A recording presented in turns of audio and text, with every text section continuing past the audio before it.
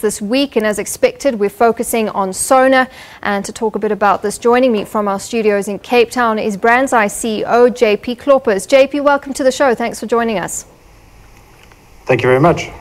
Well, JP, it's the third year in a row that we've seen disruptions in Parliament uh, for Sona, but last night was unprecedented. What's been the response from people on social media to last night's chaos? I think comparing it to last year, there have been on average about 20% more people contributing to the conversation, so around 60,000 people speaking. Uh, what was interesting this year is actually the amount of negative sentiment towards the president has halved. And uh, while that at first glance looks like a good thing, I think when we delve deeper into the actual conversations that are happening, the other thing that happened was the positive conversation also more than halved from uh, half a percent to 0.2% of people speaking positively. And uh, w- when we see this trend happen in uh, commercial clients, it usually means that apathy is growing. And it's a, it's a very dangerous trend to see uh, when you're trying to measure the support for a concept or a brand or a person. All right, so, t- so talk to me more about this because then that surely gives us an indication then of how people feel about the political landscape in the country. You say positive sentiments more than halved, apathy is growing. Yeah, yeah. I think the the last year it was off the back of Nene Gate and Nkandla. Those were big topics. And so social media was alive with people expressing their disappointment.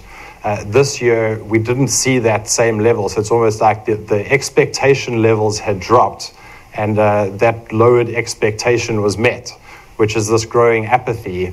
And uh, I think the, it's almost like watching hope die, if you like, on social media in that, and it's across the board, every province, every city, we saw the same trend happen.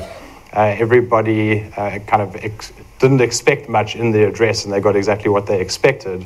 And I think that's that's something which uh, our president needs to think very carefully about: is how do I how do I reawaken people's confidence in me? uh, in the address that I put out to the nation. Yeah, absolutely. So, so then let's look at the speech itself. I mean, many analysts are saying that there was no real urgency in the speech and that issues like the economy and unemployment, they weren't tackled or given real solutions that people could kind of take home and say, this is what government is going to do. So, um, talk to me more about a reaction uh, to the speech itself from people. Do, do they feel the same as to what analysts have been talking about? Yeah, we, we see the same. I think people are disappointed in, in what Parliament should represent. I mean, some of the most reshared content is just around how uh, Parliament has become all about the protests and the, and the kind of you know, the horrible part of it, not the robust discussion part of it. And that, that, that is driving people to increasing frustration. But even that frustration, they're not even going to social media anymore to express hence us recognizing this kind of growing trend of apathy. Um, yeah, so it's, it is a worrying time in looking at the reactions that we see across the board from South Africa. Yeah, and uh, let's look now at some of the, the notable hashtags, if I can call them that. I mean, after the speech, or especially during the speech, we heard things like biological weapons and cable ties. Did you get any notable tweets around these or other topics?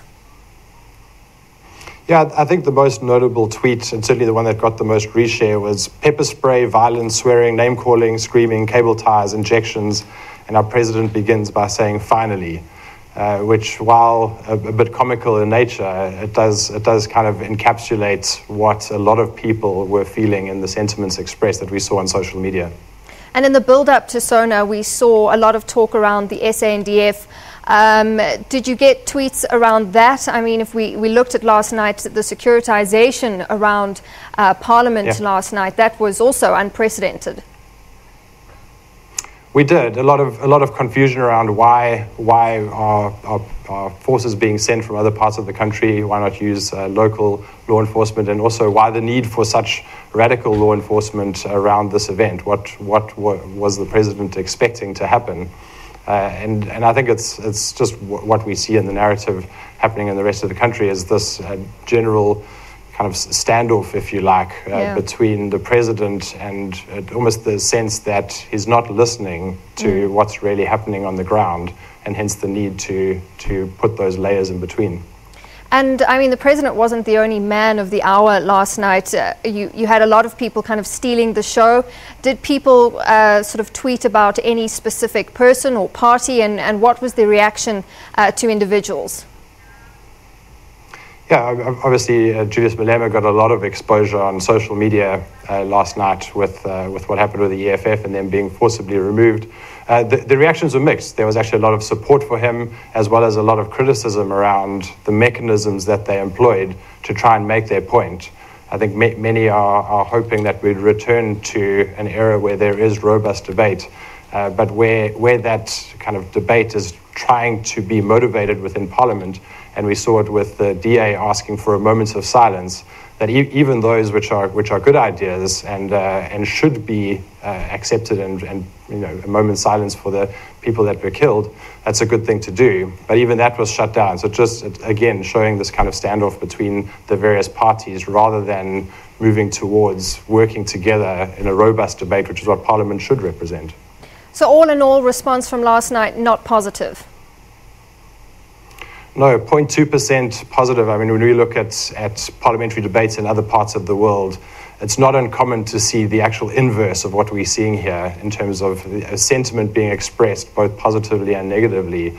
Uh, so we, we, really need to, as, as a country and as leaders within the country, think long and hard about how we're going to not just toe the party line, but actually meet our citizens where they're at. And luckily, social media gives us that view to measure it very accurately. Absolutely. JP, thank you so much for your time. JP Kloppers, uh, CEO of BrandsEye, in our studios from Cape Town. We'll take